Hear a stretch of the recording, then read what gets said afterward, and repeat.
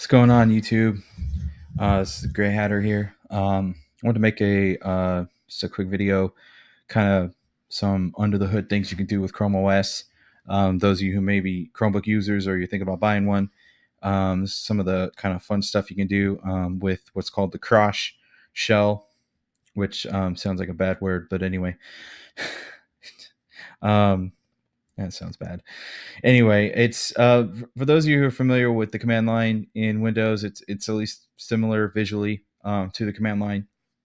And like I said, it gives you access to uh, kind of like using Chrome flags. It gives you some access to some sort of under the hood things that you can do. Um, I'm just going to highlight three three commands in particular. Um, there's I don't even know how many there are. There's dozens of them out there.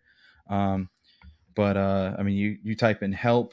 Actually, I'll just show you. Type in help See, that'll show you a few. Help. Advanced. And that'll show you a whole bunch more. But again, I'm just going to highlight three. Um, in particular, actually, one of them is on this list. And um, that is going to be the rollback option. Somewhere around here. And uh, so, yeah, okay, that one you just type in rollback. That one's easy. It's one word. Um, I'm not gonna I'm gonna type it in, but I'm not gonna actually hit enter because then. Uh, so what rollback does is rollback will uh, literally just roll back your, your operating system version to the previous version, or at least it'll attempt to if it has a copy of the previous version saved in cache. If not, then you can't. But um, if able, it will it will move you back. So say I'm on Chrome 76 right now. I typed in rollback, it would move me back to 75. And the reason why you might want to do that is if you encounter an issue. So sometimes they'll come out with some pretty bum updates on on Chrome OS. It's happened. Uh, luckily, not very many times, but it does happen where they just come out with an update and it absolutely sucks. So um, I had to do this recently, actually, on uh, not this uh, my Pixelbook that I'm using right now, but on uh, on this guy here, which is my my other Chromebook, HP something or another. Um, on that one, I had to uh, roll that one back and uh, to, because they came out with an update, caused all the Android apps to stop working. Anyway, um, now this will power wash your device. Be warned, it nukes everything. So you got to back up stuff um, before you do this, which is why I'm not going to hit the enter button right now because I, I don't want to do that. but you type in rollback, you hit enter, um, and power washes device, rolls the version back. Now, the, the kind of weird thing about that is so it will roll the version back, but then when you boot your device back up, it will then, because it's Chrome, automatically download an update. So only works until the next time you restart your device, because then it's going to go back to, again, if you're on 76, you roll it back to 75, you boot it up, you connect it to Wi Fi, it's going to download 76 again. And as soon as the next time you reboot, you're going to actually be back on 76. But the nice thing is, is it buys you some time. So if they come out with a really bad update, maybe you can just avoid restarting your Chromebook for like a week or something, because it's a pretty stable operating system. Just avoid restarting it for like a week, and then hopefully in that week they'll have fixed the bug in their update. Hopefully. The other uh, another command I want to show you here: Wi-Fi power save.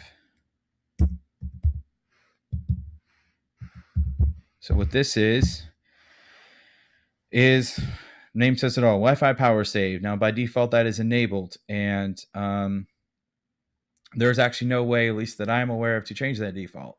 So every time you boot your device, it will revert it to turning that Wi-Fi power save on, which is actually pretty useful because it does save battery, and in most case, in most scenarios, you're probably not going to need it. Um, scenarios where you might want to turn the, the Wi-Fi power save off is if you're a little if you're kind of located a little ways from the, the router, you're not getting a very good signal, and or your speed is not very good. Um, what it can help with, it doesn't always, but uh, you know, because if the Wi-Fi connection is just slow, then it's going to be slow no matter what you do. But what you can do to try to eke a little more speed out of your Wi-Fi connection is to go ahead and disable that. So all you do with that Wi-Fi power underscore save disable, bam, off. That will that will remain off like I said, until the next time you restart device. So you restart your device, it will turn it back on. So um, so you don't eat up your battery needlessly. Uh, the next one is a battery test.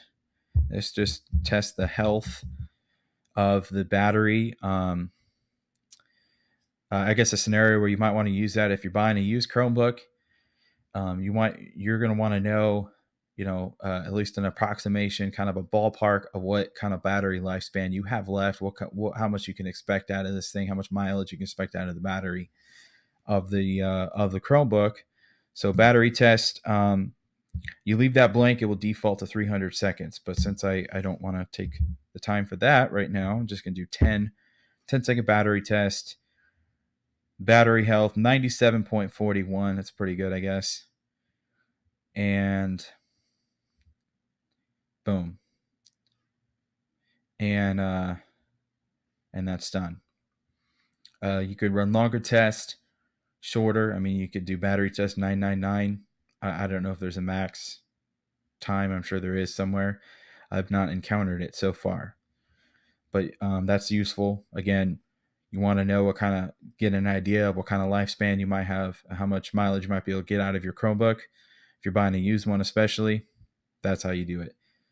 And uh, that I would say that's it. I mean, that's not all the commands by any means, but that is the three most useful that I have found so far. There is a fourth one, but unfortunately, I didn't note down what it was. I, I read a tech blog a while back and came across this really cool command that gives you all of. Um, so there's an uptime command in here. If you scroll up here in the help area, there's an uptime command that tells you how long since the last reboot of the machine. But then there's a like a super uptime one that will show you actually how many hours of, of use have been put on it since the you know creation of that Chromebook. And that is like a super useful one if you're buying a used Chromebook because you can actually know exactly, you know, people say, Oh, I hardly used it. You type that command in, it maybe tell you, okay, they hardly used it, or hey, you know, somebody put a thousand hours of use on this thing. Very useful command. Unfortunately, I don't have that on me right now. I read it in a tech blog and didn't write it down. But once I find that, I will just simply have to give it its own video because it is, again, a very useful command. Very good to find out some that information on that on the uh, on that Chromebook. So that's it for this one. And uh, if you have any other commands that you find really useful, feel free post them in the comments, and I'll catch you on the next video.